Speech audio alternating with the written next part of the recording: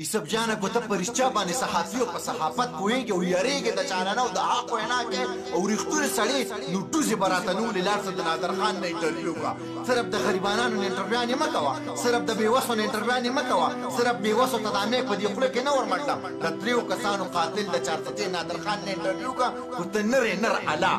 السلام علیکم رحمت الله وبرکاته ټول مرګرو ته سلامونه مرګرو نن خبرې کوم په دې سړی دا په سکرین چې درته کم سړی ښکاري ډېر زیات خو کوم ډېر زیات لایک کوم ډېر مې خوښ دی سب جان له قربان دي شم خو په یو خبره مې در سره نه لګي نن دا ګیله کوم او بل ورځ له بدر نه بل شان ګیله کوم نن ډېر په احترام دا ګیله کوم ایسب جان له په چارسده کې نادر خان نوم یو قاتل دی قاتل چې د دریو کسانو قاتل دی ته د هر چا انټرویو کې تا نه په یو ځای کې هم سړی نه دی پاتې دا ویډیو ډېره شارټ ده خو ته دې نادر خان له ولې نه ځې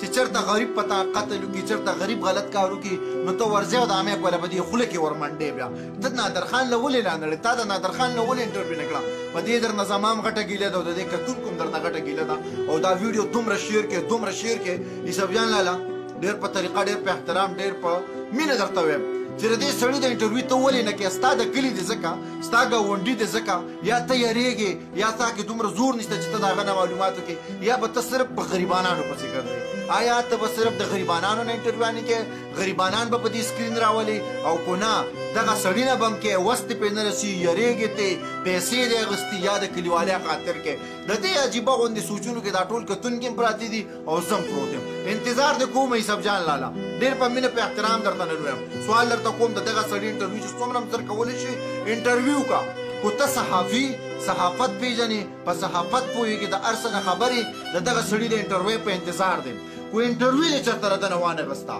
کو ته بیا به ته یو ډېر خوشې انسان یې خوشې به په دې چې بیا به ستا وس نه کېږي بیا ته ډوزه بیا ته ډوزمار یې ډوزمار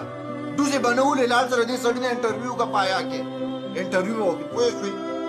ډیره مننه ملګرو دا ویډیو چې څومره د شیر کولی شي شیر کې او دا پیغام مخ کې ورسوي دا دغه قاتل انټرویو پکار دی سب جانا کو ته ځان کې ځان ته غیرتی وې کنه او دا حقیقت صحافت کې په حقیقت په صحافت بیږي او دوزن نه دوزي نه ولې دا دغه سړی انټرویو مونږ ته پکار ده ډیره مننه